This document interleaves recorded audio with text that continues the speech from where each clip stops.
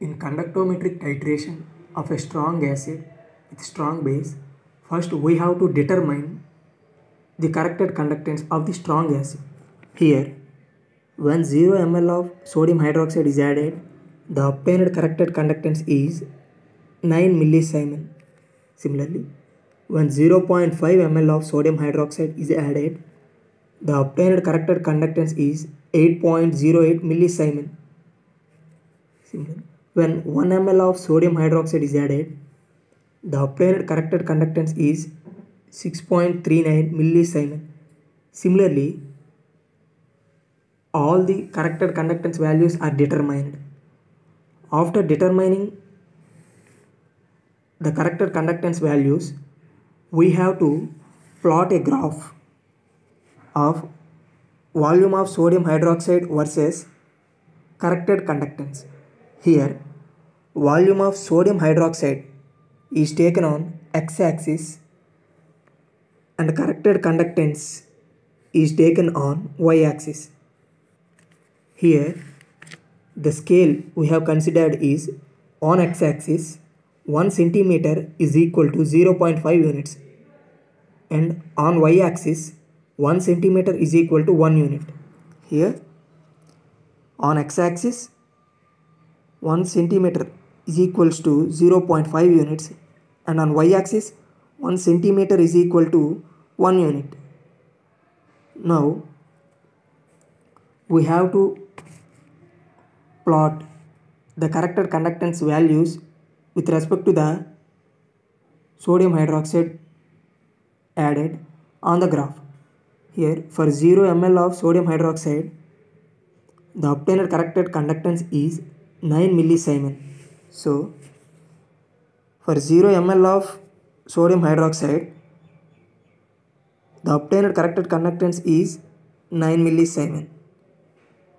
So we have to locate the point.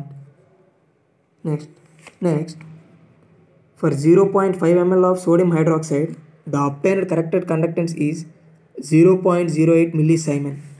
So for 0.5 ml of sodium hydroxide the obtained corrected conductance is 8.08 siemen.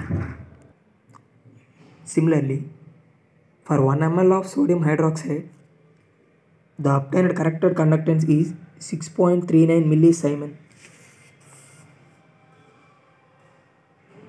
For 1 ml of sodium hydroxide, the obtained corrected conductance is 6.39 millisiemen. 6.3. Similarly, all the points are plotted on the graph.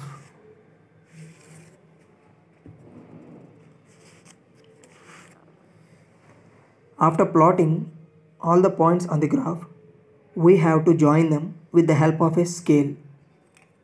The help of a scale.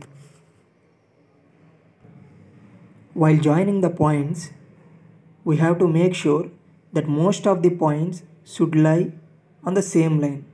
Most of the points should lie on the same line. Like this, similarly we have to join the other side by extending its end. Now the intersection of these two linear branches now the intersection of these two linear branches will gives us the end point of the conductometric titration. Now draw a line from this point of intersection to the x-axis. Now the point at which the line drawn from the point of intersection will meet the x-axis gives the point of equivalence. Here this is the point of equivalence. The point at which the line drawn from the point of intersection